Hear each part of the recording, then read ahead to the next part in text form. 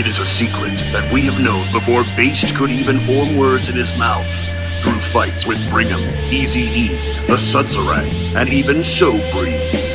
We've caught glimpses of the child's explosive power, but like an explosion, it's always vanished with the moment. It couldn't be controlled. Until now. At last, the beastly power has been harnessed. Based has awoken. Now, Chat will battle a warrior a lot of years in the making on the next Wario Party Fiesta.